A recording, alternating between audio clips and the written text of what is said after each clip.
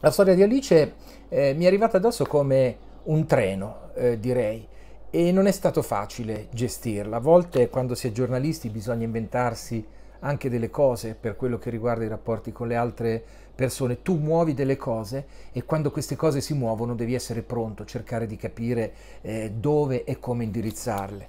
Musica, musica, musica come se piovesse, musica che corre dallo smartphone alle cuffie, dalle cuffie al cervello e dal cervello al corpo. Left, right, sinistra, destra, auricolari piantati nei timpani come chiodi e flusso del suono ininterrotto. Musica elettronica pesante, ritmi cattivi, rap, hip hop, testi velenosi di artisti incazzati. Musica 24 ore su 24, notte compresa, servizio full time come i market delle metropoli.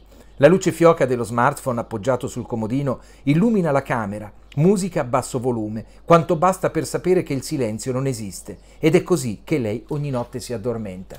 Questa è la storia appunto di Alice, una storia strettamente collegata al silenzio, alla chiusura e poi a quella che è stata una sorta di liberazione e io ancora non ho capito bene per quale motivo mi sono trovato dentro questa storia. Ciao Alice. Ciao Luca.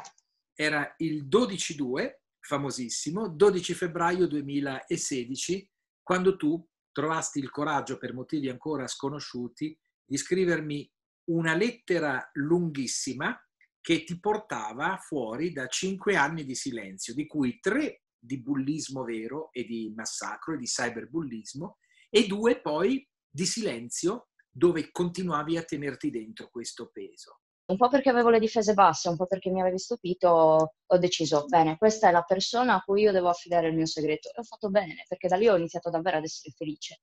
Mi sono resa conto che prima avevo un sorriso sul volto perché mi imponevo di metterlo e non perché mi sentivo davvero felice.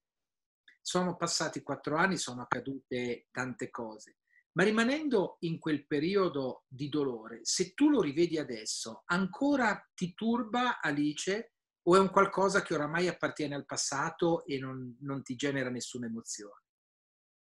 Allora, pensandoci adesso per come sono fatta, quando inizio a rimuginare i suoi ricordi, riprovo le stesse emozioni. Però mh, mm, se dovessi fare un paragone, immaginare di ritrovarmici dentro, dentro la stessa situazione, adesso avrei le armi per difendermi. Non potrei più soffrire della stessa cosa, perché saprei già come rispondere, saprei già come muovermi, cosa devo fare per evitare anche soltanto di permettere a qualcuno di farmi del male in quel modo. Per tre anni, Alice, tu sei stata oggetto da parte di un gruppetto di illazioni pesantissime a sfondo sessuale. Ti avevano costruito un vestito, eh, un modo di essere, un modus operandi che naturalmente non aveva nulla a che fare con quello che era il tuo essere trovarsi delle etichette addosso è uno dei pesi più grandi che un adolescente si può caricare. Parlo ovviamente mettendomi nei panni di una ragazzina di 12, 13, 14 anni, quale ero io. È una situazione che non puoi gestire perché sei troppo piccolo per alcune cose, mm, ma già ti stai affacciando all'età adulta, quindi senti quel senso di responsabilità in cui dici devo farcela da solo, invece hai troppe cose addosso, troppo peso sulle spalle che da solo non riesci a gestire, non sai dove sbattere la testa, anche perché non è una cosa che dipende da te. Io mi sentivo pienamente consapevole di non rispecchiarmi nell'immagine con cui venivo descritta. Mm, delle persone che mi hanno scritto un messaggio anni più avanti, eh, che mi conoscevano alle medie, mi hanno descritto come un automa in quel periodo io entravo in classe con le cuffiette, le toglievo per seguire la lezione perché ovviamente le cuffiette a scuola non le puoi tenere, altrimenti io avrei continuato ad ascoltare musica anche nelle 5 ore di mattinata. Le rimettevo a fine lezione e basta. Questo era il mio vivere la scuola in modo completamente passivo. Tutte le tue potenzialità le hai messe in stand-by perché dovevi eh, combattere il tuo dolore, o meglio tu per un lungo periodo ti sei concessa questo dolore pensavo di essere io il problema, magari di risultare antipatica, di risultare acida, una persona comunque eh, la cui presenza non era gradita, insomma, mh, mm, ho iniziato a screditarmi da sola, anche perché ero, ripeto, nel pieno dell'adolescenza e queste domande te le fai, inizi a dubitare un po' di te stesso, a farti domande su quali sono le tue qualità, qual è la tua strada e vedere che non sei apprezzato dagli altri ti porta a non apprezzare te stesso perché il parere degli altri in quell'età è molto importante. Se hanno pareri positivi, credi in te stesso, vai avanti e sorridi. Se invece hai intorno soltanto pareri negativi o vedi solo quelli, tu stesso inizi a dubitare. La tua camera, Alice, l'hai trasformata in una cella di lusso. Era il tuo angolo di paradiso e di inferno.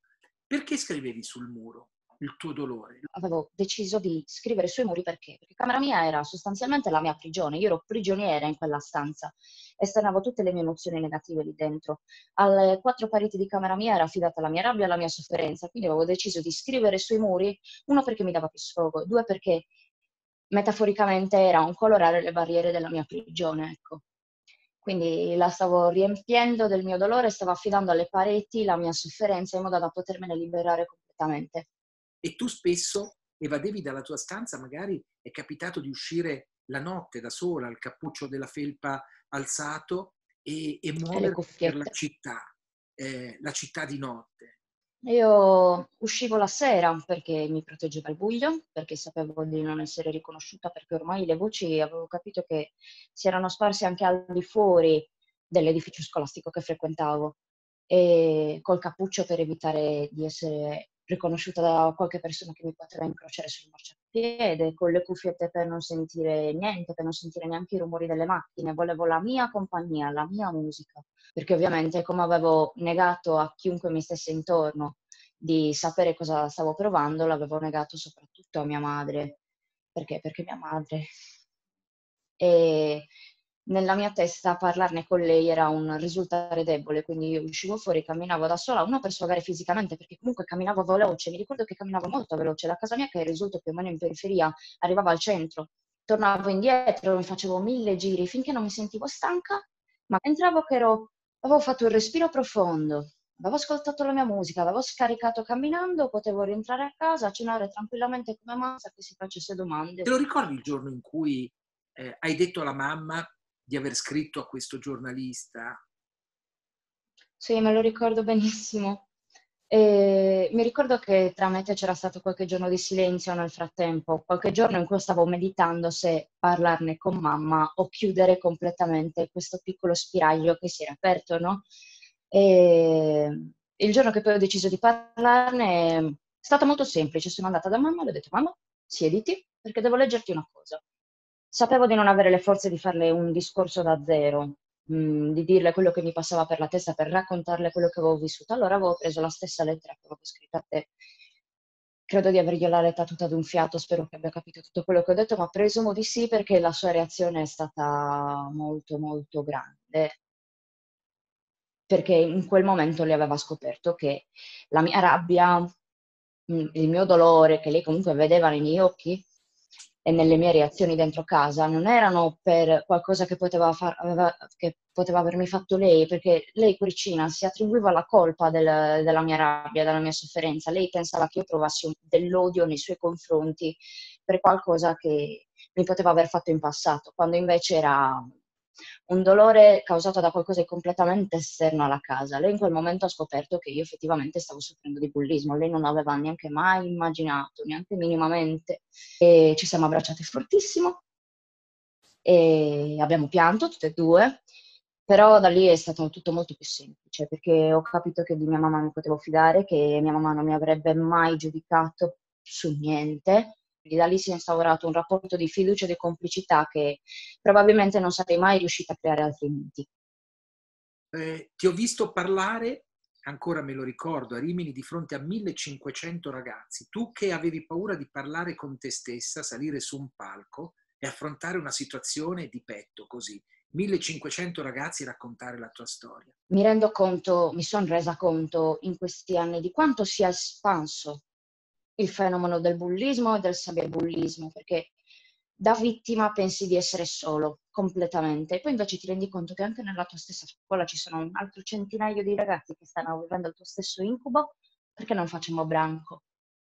Che tipo di appagamento si prova ad avere tante ragazze che nel corso di questi anni hanno trovato in te un punto di riferimento? Vedere che si fidano di me in questo senso e mi affidano il loro dolore perché magari sono la prima persona con cui ne parlano, eh, inizialmente mi pervade un grande senso di responsabilità, quindi mh, entra in gioco la determinazione, no? E vedere poi che riescono a fare quel piccolo passo e uscire dalla loro bolla è veramente qualcosa di indescrivibile. Sento proprio un sole crescere dentro di me, sapere che sono riuscita a fare qualcosa di buono, che sono riuscita ad aiutare una persona ad uscire da quell'incubo, a rimettergli il sorriso sul volto è davvero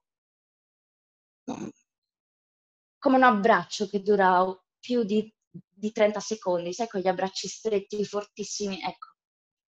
La soddisfazione è quella, l'emozione che provi, il calore di sapere che sei riuscita a fare qualcosa di buono per qualcun altro. Ricordo quando Alice, con un certo imbarazzo, mi disse, sai Luca, io scrivo poesie e in quel periodo così devastante, in quel periodo dark della mia vita, ne ho scritta una particolare, te la posso inviare?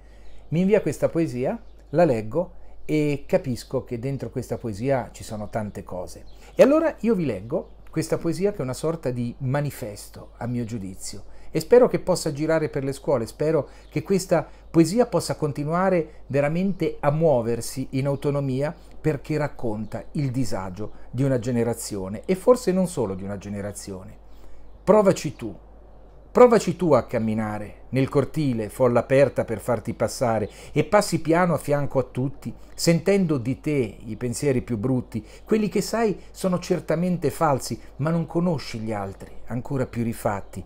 Provaci tu a camminare con musica peggiore continuando a pensare. Testi ignoti sembra che ti parlino di cose già vissute, e gli altri che ti guardano. Sembri felice eppure bruci dentro, col sorriso enorme, ma lo sguardo spento. Provaci tu a scusarti. Mille nodi in gola e pieno di rimpianti, varie scuse inutili, mancate, pensando in giro alle emozioni provate. Le prime sere spensierato per i parchi, ora vedi gente, la sua pelle, con i marchi. Provaci tu a osservare una generazione finta, orgogliosa, per ascoltare una città morta e priva di colore, e spesso vuoi un abbraccio, risentire quel calore. Provaci tu a conoscere questa città vuota che non ti sa coinvolgere, come fossi in un universo parallelo e vedi tutto come da sotto un velo, un velo lercio, sporcato dal dolore, poi quando torni a casa ripensi al suo sapore. Provaci tu a sognare un posto migliore dove poter andare, disperdere pensieri, mollare paranoie, dimenticare ciò che eri ed inizi ad avere voglia di buttarci tutto, fuggire più lontano dove sei un anonimo in cerca di una mano. Provaci tu ad accettare di cambiare gente senza paura di provare. Emozioni tue, prima morte e poi sepolte, spuntano intanto nuove idee, ma che lasci incolte. Arriva l'occasione di migliorare tutto, dimenticare te stesso, il tuo io distrutto. Provaci tu a cambiare modo di essere, modo di parlare. Senti dentro questo nodo che stringeva e solo ora si dissolve, mentre prima ti mordeva. Provaci tu, solo ora a stare bene, a sentirti vivo con il sangue nelle vene, circondato da smog, ma odore anche di mare, che quando vince il demone ti ci lasci trasportare. Spiaggia di notte, lo sai, è ancora più bella, come fossi in cielo e lì sembri una stella. A volte torni immerso in quella città vuota che riempi di colore con la tua vita nuova.